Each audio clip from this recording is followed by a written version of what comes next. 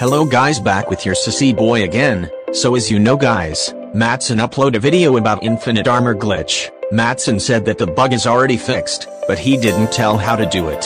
So in this video I'm gonna tell you how, so basically I asked this person, because he said he know it. After that I contact him in Discord and ask him, and he says you just need to buy this armor enchant, and after that every time you died your armor will increased.